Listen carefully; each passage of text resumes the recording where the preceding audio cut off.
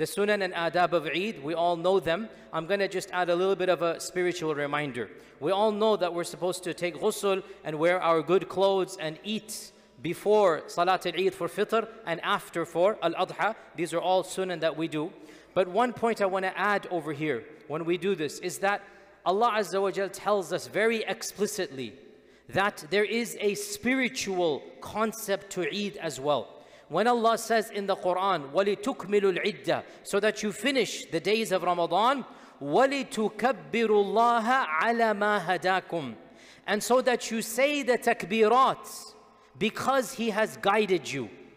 So what I want us to think of when we wear our finest garbs, put on our best clothes, put on some good perfume, when we are coming to Salat al-Eid, firstly, every family should be saying the takbirat in their car amongst themselves from their house. Now, some of the ulama say the takbirat of fitr began from the morning uh, of uh, uh, the, Eid al-Fitr and some uh, madhab say they began uh, from Salat al-Maghrib. However, just a technical point, this communal takbir that we do after Salah, this is for Eid al-Adha. Just a technical point here. So personal takbirat, some madhab say Right now they begin until the Imam comes out. And other madhab say they begin from Fajr. And a third madhab, Imam Malik said when you leave your house. These are technical differences. All of them are correct inshallah, no big deal. But the communal takbirat that we do as a group, this is for Eid al-Adha. Because frankly that is the bigger Eid, Eid al-Akbar. This is alhamdulillah a great Eid, a good Eid. The Eid al-Adha is the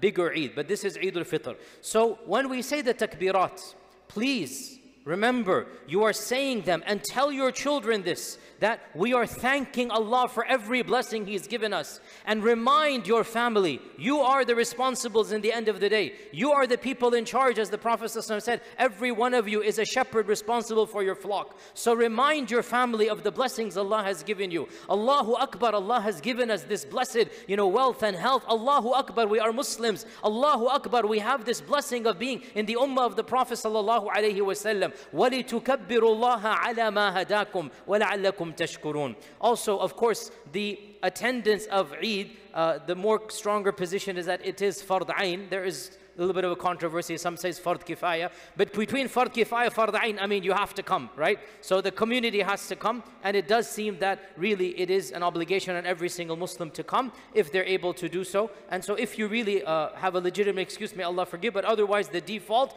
everyone should come. And in fact, the Prophet ﷺ even said to the elderly ladies to come that, and the, you know, and the uh, uh, uh young ladies, all of them should come at a 10. And generally, they were not encouraged to come for the daily salawat. But but Eid, they were encouraged to come. And this shows us that Eid is a communal festival. So yes, we wear our best garments, but remember as well, brothers and sisters in particular, that وَلِبَاسُ التَّقْوَى ذَلِكَ خَيْرٌ Put on fine garments, but make sure they meet the requirements of the Sharia. And remember, modesty and haya is something that befits our sisters. So all of this needs to be done as well. Also, the takbirat will continue. And the Prophet ﷺ would say takbirat. In fact, the city of Medina would be loud with takbirat. the markets would have takbirat. Ibn Abbas would be saying takbir as he's walking through the souq on his way to the masjid. So the city of Medina would reverberate with takbirat and the takbirat continue. I have to say this is a sunnah that is neglected. We are silent until we come to the masjid. No,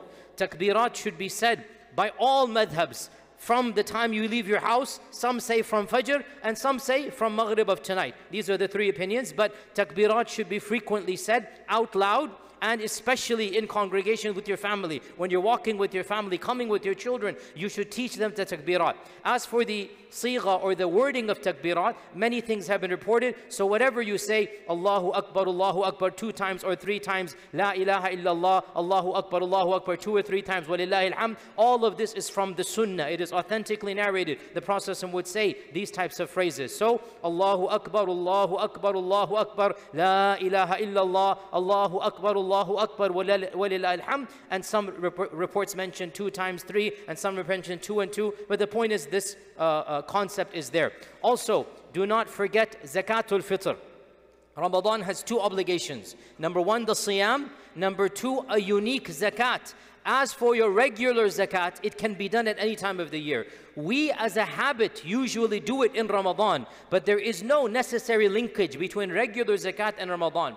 But zakatul fitr, which is the second mandatory zakat, zakatul fitr, which is a very small $12 that we have, $12 amount. Zakatul fitr is an obli obligation, and our Prophet said, Allah has made it as a tuhr, as a means of purification for any shortcomings. If in this last 29 days we said something we shouldn't have said, we looked at something we shouldn't have looked at, we became angry, we lost our temper, subhanAllah, Allah has given us an exit, a solution. Allah has given us a salvage, a saving grace. Give this small amount, one amount for the whole month. What more do you want? One amount for the entire month and it is an obligation on the entire family, even those that are not fasting. You just give it on their behalf as well. So if you have some elderly people in the house, you have some children not fasting, you have some ladies with, with excuses not to fast, still you will give zakatul fitr. So 12 times the number and please give it before you go for uh, or you pray the Eid. Even if you walk into the masjid, at least give it in the box. The boxes will be outside. As long as you give it, of course, we're going to ha hand it out afterwards, but you've done your job in the sense you have handed it over to the wakil. Uh, that's us here, Epic, and our job is then to give it to the fuqara. If you can give it tonight, even better. But definitely zakatul fitr is an obligation it's not sunnah it is something that is mandated so these are some of the uh, sunan of uh, eid final point Eid and Jumu'ah combined. Not to get very technical in a nutshell, the majority opinion, this is the Malikis, the Shafi'is, and the Hanafis, is that you have you, there's both of them requirements. So you do Eid and then you do uh, Jumu'ah. The Hanbali position is that if Eid and Jumu'ah falls on the same day, then if you pray Salat al-Eid, then Jumu'ah becomes not mandatory. Fard Ain is Fard Kifaya. And so if you pray Eid according to the Hanbali madhab, if you pray Salat al-Eid, then you are not required to come back and you pray Dhuhr instead of Salat al-Jumu'ah. But the fact of the matter, there's only one other madhab. So as you know, I always ask you to either follow the madhab you're comfortable with or ask the sheikh of your choice and follow that sheikh. So if you ask me personally, um, I will be giving both Eids, both Eid and Jumu'ah, but in my humble opinion, it's not obligatory to do both. This is my personal, because overall I'm generally of the Hanbali madhab anyway, but in this case I am also sympathetic because the evidences seem to suggest this. However, I am also very, um, as you are tolerant of the madhabs and respectful of the madhabs. So whichever madhab you follow and you want to stick to it, Hanafis and Shafi'is and Malikis, if you are living in the city, which all of you are, then you must pray Eid and Jumu'ah. So choose one of the Eids and choose one of the Jumu'ahs. If you are not bound to a madhab, if you trust an opinion, Ibn Taymiyyah and many scholars, Imam Ahmad bin Hanbal and others, they have evidence that would suggest that when they come together, then it's not fard ayn to do both.